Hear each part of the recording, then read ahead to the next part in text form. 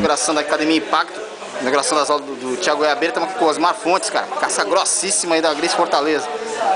E aí, Osmar, comenta aí, foi lá no, em São Paulo, ginásio de Ibirapuera, fez a festa, né, velho? É, eu consegui ficar bem tranquilo lá, apesar do frio, tava muito frio lá. Aí lutei na, na Master Marrom. Aí fiz três lutas no peso, finalizei duas e afinal ganhei de 10 a 2. Aí fui para absoluto, ganhei duas, aí perdi uma na semi, aí consegui ganhar o bronze. Aí fui uma medalha de ouro e uma medalha de bronze. Foi um bom resultado. E agora, o que, que vem agora? Bom, essa, esse campeonato da seletiva eu não vou lutar porque vai ser na mesma data do campeonato sul-americano da CBJJE, lá em Salvador. Aí consegui um apoio com a passagem, vou, vou, vou estar por lá lutando e com certeza espero algum, algum resultado, um resultado bom aí lá. Mas e o Mundial também vai cair pra dentro?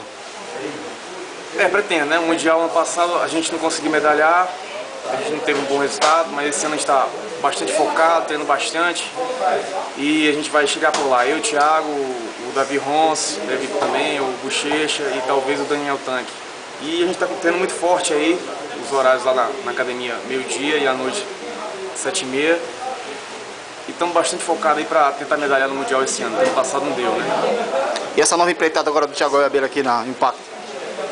Cara, o Thiago Goiabeira é um, é um, dos melhores professores, um dos atletas mais técnicos aqui de Fortaleza, do Ceará.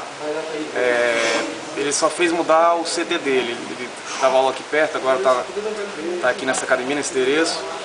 Eu espero que a equipe é, tenha um bom, um bom desempenho, como sempre teve. Está sempre revelando os atletas bons. Agora o Thiago, o Davi Ronce aí está muito forte, muito, focado, está sempre lutando também. E uma vez, é, uma vez ou outra, ele está sempre revelando a fera aí, o Thiago. Assim como foi um tempo que ele treinava com, com a Kamikaze lá do William Couto. Falar em jiu-jitsu novamente, o que, que você está achando dessa evolução do jiu-jitsu cearense, cara? Cara, tá muito bom. O jiu-jitsu cearense está muito bem representado. É, quando a gente viaja fora, a gente sempre fica todo mundo junto, a galera da Evolution, a galera da Grace Barra, tem também um Álvaro também na Nova União, fica todo mundo junto, um dando força pro outro, não fica essa rivalidade a gente deixa pra Fortaleza. E eu acho que o juiz está uma evolução muito boa, até nos campeonatos grandes aí da CBJJ. É, a gente tem bons representantes, está lá com o Gibson, está lá com, com, a galera do Red Slap também, a galera do Saulo. E a revolução está muito boa, então estamos botando o juiz para frente aqui. Então o espaço é teu e quiser fazer seus agradecimentos?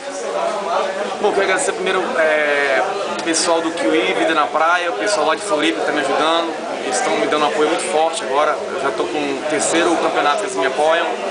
É, queria mandar um abraço lá para o seu Zeca Napo, Carol Napo, Pedro também, um abraço para todo mundo. É, agradeço mais pela força, já é o terceiro campeonato. E também o pessoal do Ronaldo Souza, da Power Games, que está fechando aí uma parceria bacana. Eu espero que dê certo aí. E já está me ajudando já nesse sul-americano aí do Salvador, CBJJE. Beleza. Valeu.